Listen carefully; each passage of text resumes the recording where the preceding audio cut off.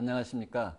부부의 날을 맞이하여 남녀의 기를 살리는 건강 밥상에 대해서 말씀드릴 광동 한방병원 문병아입니다.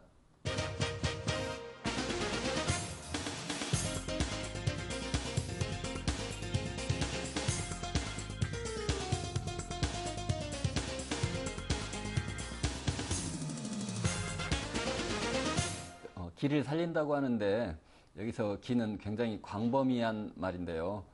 한약에서 기라고 하면은 부모로부터 타고난 선천의 기운하고 그 다음에 공기 중에 산소를 호흡해서 만드는 호흡의 기운 그리고 음식물의 영양분을 섭취해서 만드는 음식물의 기운을 합쳐서 기를 만든다고 합니다.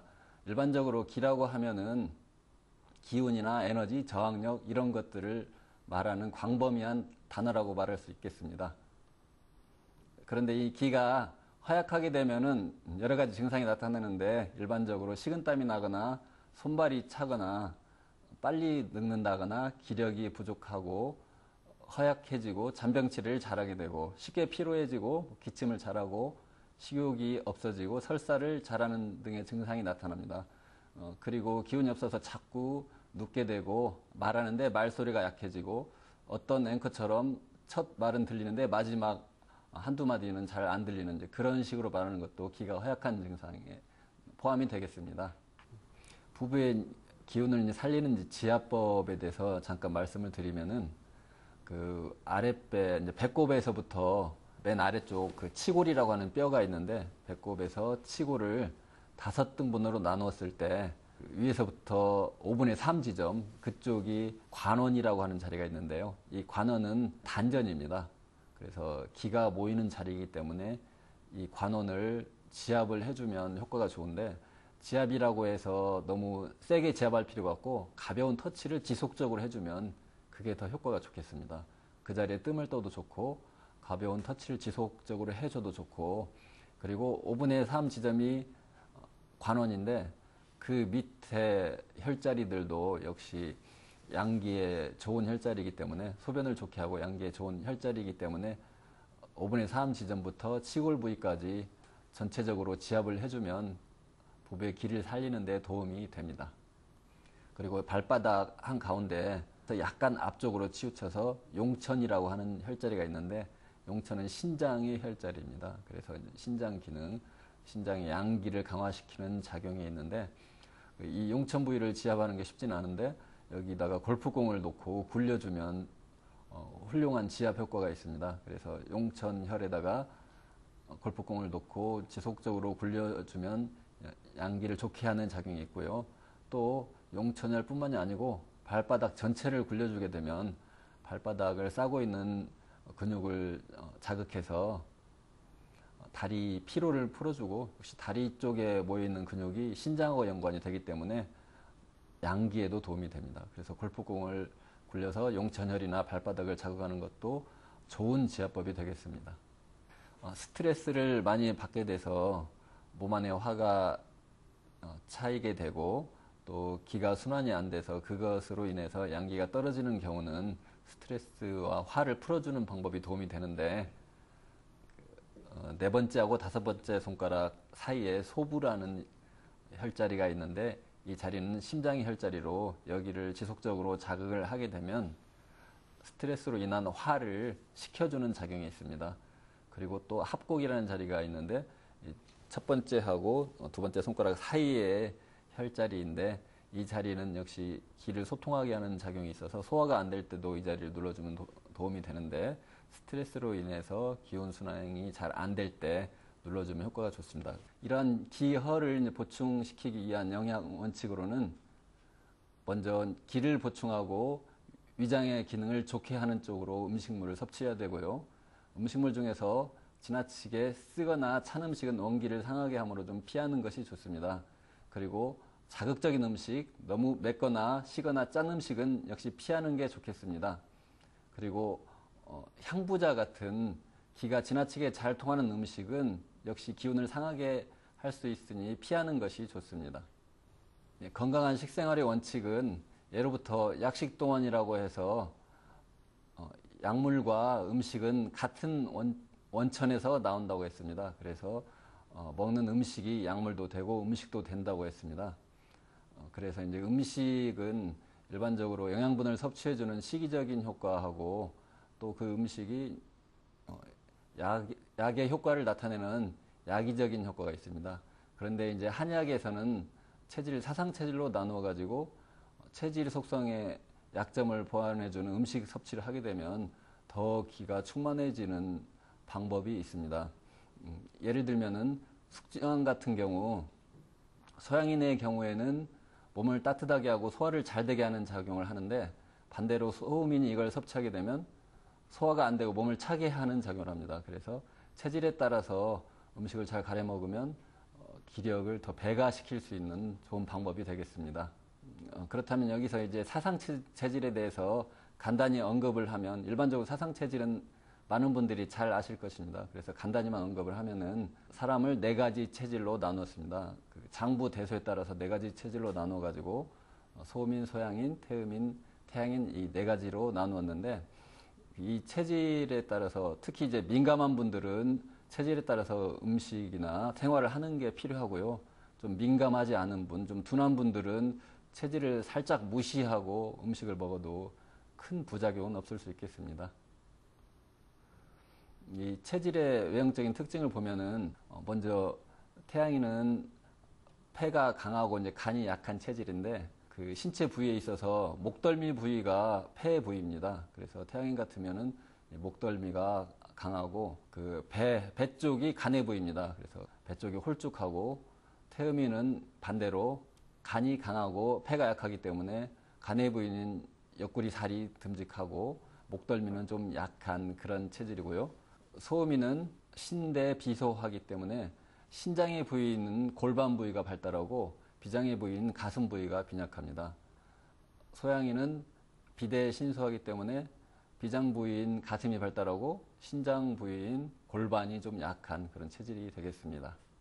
그래서 이제 체질별로 기를 살리는 반찬들은 어떤 것이 있나 잠깐 살펴보면은 태양인 같으면은 포도나 모과 같은 것이 좋습니다. 그리고 뭐 앵두나 해물 같은 것도 역시 태양인에는 효과가 좋습니다. 그래 어, 포도나 블루베리 같은 것도 음료로 만들어서 마시면 효과가 좋을 것 같고 태양인에 좋은 어, 해물 종류로 해삼 새우탕 같은 걸 역시 만들어 먹게 되면 기를 살리는 데 도움이 될 것입니다. 태음인 같은 경우는 일반적으로 소고기나 당근이나 밤이나 율무, 잣 이런 것들이 효과가 좋습니다. 그래서 태음인은 어, 밤이나 잣 같은 걸 뭐 그냥 드셔도 좋고 차로 만들어 먹어도 좋을 것 같습니다. 원기를 보강하는 식단으로는 소고기 마 볶음이 있는데 소고기도 태음인에게 좋고 마는 흔히 이제 산약이라고도 많이 하는데 어, 소고기하고 마를 같이 볶아서 드시게 되면 어, 태음인에게 좋은 걸 모아서 드시는 거기 때문에 기를 살리는 데 도움이 될 것입니다. 그리고 음양과학 사골탕 같은 경우 이제 사골은 소의 뼈인데 몸을 따뜻하, 게 하는 작용이 있고요. 음양과학 같은 경우는 대표적으로 양기를 보강시키는 음식입니다. 그래서 음양과학하고 사골탕을 같이 해 먹게 되면 양기를 보강하고 몸을 따뜻하게 해서 전반적으로 기를 상승시키는 좋은 음식이 되겠습니다. 소민 같은 경우는 어, 인삼이나 파나 생강, 찹쌀, 대추 이런 것들이 전반적으로 어, 어, 소음인에게 맞는 음식이 되겠습니다. 그래서 뭐 인삼차나 대추차 같은 걸 드시면 좋을 것 같고요. 원기를 보관하는 식단으로는 어, 인삼죽이 좋은데 인삼하고 이제 찹쌀을 찹쌀이 소음인에게 좋기 때문에 인삼하고 찹쌀을 같이 섞어서 죽을 만들면 효과가 좋겠고요.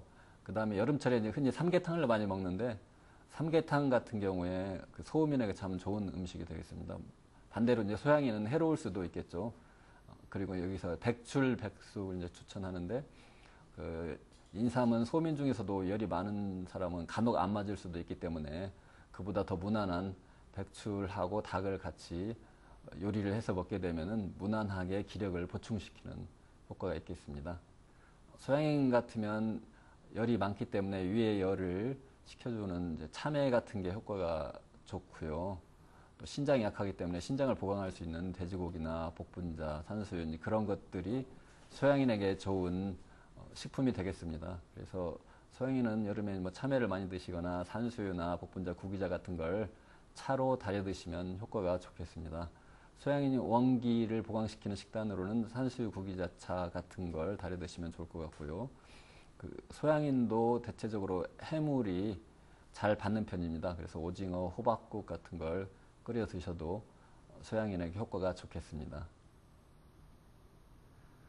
음, 일반적으로 부부의 기를 살리는 좋은 음식이 있는데 그 음식이 이제 체질별로 구분을 하지만 체질을 무시하고 이제 드셔도 어, 되는 음식들을 전반적으로 말씀을 드려보겠습니다. 복분자 같은 경우는 소양인에게 좋지만 일반적으로 정력이 약한 분들이 다 먹을 수 있겠습니다. 그래서 복분자는 요새 술로도 많이 나오는데 복분자 뭐 차로 술도 괜찮겠고 복분자 차를 드시면 좋을 것 같습니다. 복분자 같은 경우는 원래 이름의 유래가 복분자를 먹고 소변을 두게 되면 소변 그릇이 엎어진다 해서 이제 복분자거든요. 그래서 복분자를 드시게 되면 아무래도 소변이 잘 나오고 남자의 발기부전, 역시 여자의 불임증에도 효과가 좋습니다. 구기자 같은 경우도 원래 이제 소양인에게 좋지만 역시 양기가 허약한 다른 체질에도 사용할 수가 있습니다. 그래서 어, 구기자는 역시 양기도 좋게 하고 팔다리 기운도 나게 하는 그런 효과가 있습니다.